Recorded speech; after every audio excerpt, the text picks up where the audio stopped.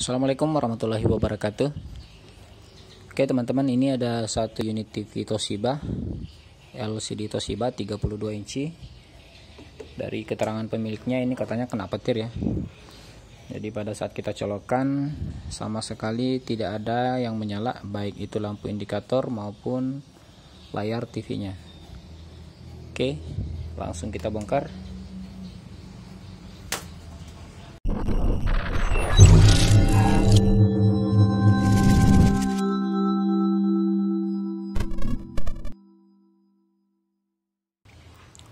Oke, bagian dalamnya seperti ini. Ini setelah TV kita bongkar ya. Ini rangkaian mainboardnya, ini power supply-nya.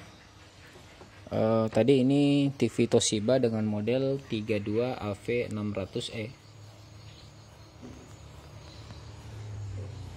Jadi karena kerusakannya ini mati total, uh, dari keterangan yang punya katanya kena petir.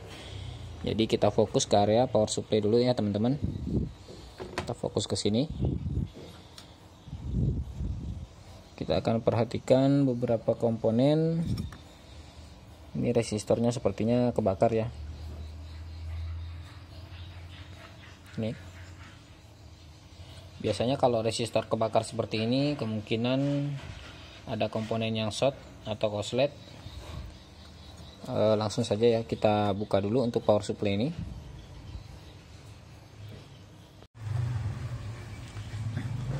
Oke teman-teman kita akan fokus untuk memeriksa rangkaian power supply. Uh, ini kelihatan untuk resistor ini terbakar ya. Uh, tapi teman-teman ini tidak cukup hanya dengan mengganti resistor yang kebakar ya. Kita harus melakukan pengetesan beberapa pengetesan termasuk untuk sekring ini. Ini ada sekring ya. Uh, sekringnya kita tes juga untuk beberapa dioda. Ini dioda bridge kemudian yang terutama ini ini IC untuk switching ya. E, biasanya kalau resistornya kebakar seperti ini biasanya itu disebabkan oleh switching yang short ya. Kita coba saja. Ini untuk resistornya saya potong saja teman-teman ya. Ini kan sudah jelas rusak nih. Nanti kita ganti. Hangus ya teman-teman Oke. Saya mulai dari sini.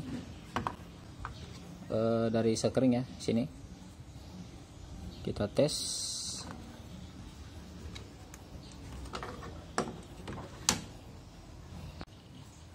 Multimeter kita posisikan pada posisi buzzer. Kita tes dulu. Oke, sudah bunyi ya. E, pertama kita tes untuk sekring ini sekeringnya masih oke. Okay. selanjutnya untuk dioda saya cek dioda. Dioda ini kita bisa tes di posisi buzzer bisa tes di posisi dioda juga. Kalau misalnya kita tes di posisi buzzer itu kita tes untuk shot atau tidak. Seperti ini. Ini kalau bunyi berarti dia shot ya tidak bunyi. Tapi kalau misalnya kita tes di posisi dioda ini kita bawa ke posisi dioda. Ini kita tes apakah diodanya putus atau tidak. Oke jadi kita tes satu persatu ya untuk dioda yang ini. Ada nilai kemudian kalau pindah ke sini ada nilai juga. Sama kita pindah ke sini. Ada nilai juga pindah ke sini.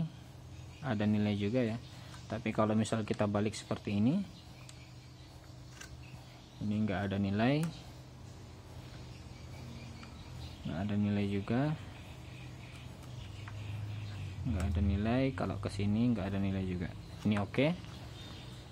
nah selanjutnya yang di atas ini. Kita tes. Ada nilai. Ada juga. Kita balik ke sini. Ada juga. Ada juga. Kalau misal kita balik oke nggak ada nggak ada nggak ada. Oke dioda normal ya. Selanjutnya untuk ini MTC ya. Ini berupa resistor juga sebenarnya teman-teman tapi dia uh, resistornya nilai resistornya ini berubah sesuai suhu ya. Kita bawa ke posisi basar saja. Oke ada juga normal uh, kemudian kita tes di sini. Di kaki IC switching yang tadi. Ini. IC yang ini tadi ya teman-teman. Nah kita tes di kaki plus dan minusnya. Di sini dan di sini nah itu dia teman-teman ya. IC ini koslet jadi inilah yang menyebabkan resistor tadi terbakar ya. Resistor ini tadi terbakar.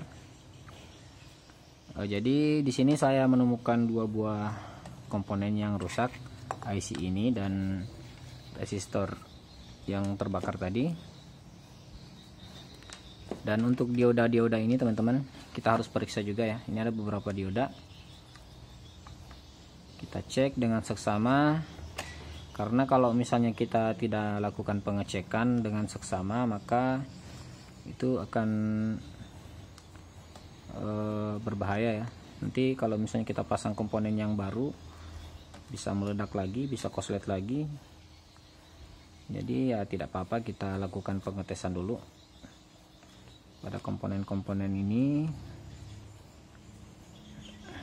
Oke semuanya normal ya. Ya, terutama untuk dioda. Oke semua normal. Nah, ini ada satu resistor lagi. 100 kilo kita tes juga. Posisi resistor. Oke normal ya 99 kilo e, kita akan mencoba teman-teman ya untuk mengganti resistor ini dan IC nya dan akan kita lihat nanti apakah TV ini hanya bermasalah di IC switching dan resistor ini atau masih ada masalah yang lainnya. Kalau ini tadi untuk nilai resistornya ini 0,01 ya. Warna coklat hitam emas. Coklat hitam emas emas ya. Oke kita ganti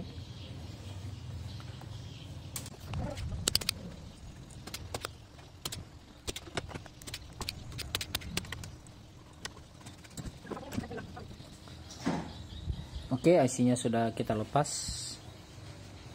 IC regulator dengan kode MIP2F2. Kita akan ganti ya.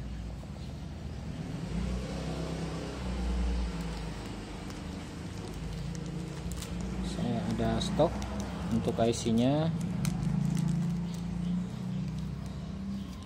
Yang ini MIP2F2.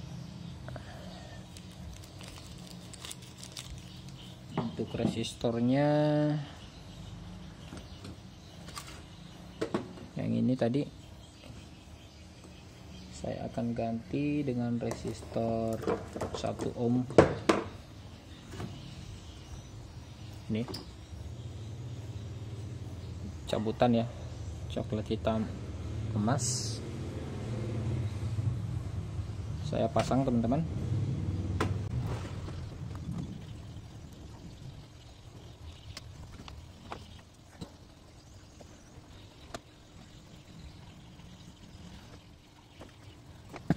Oke.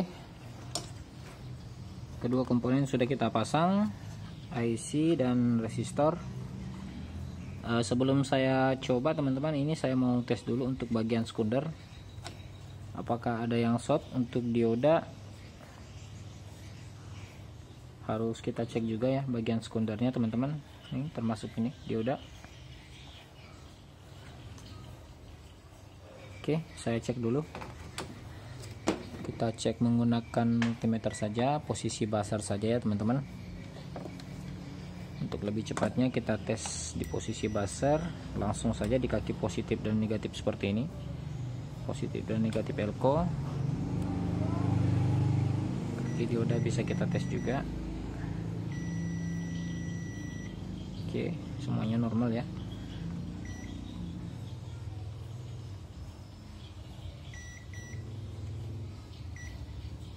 memang sepertinya ada ada nilai tapi lama kelamaan ini uh, hilang nilainya. Nah itu. Artinya semua dioda normal ya di bagian sekunder. Aman. Yang ini. Oke aman juga.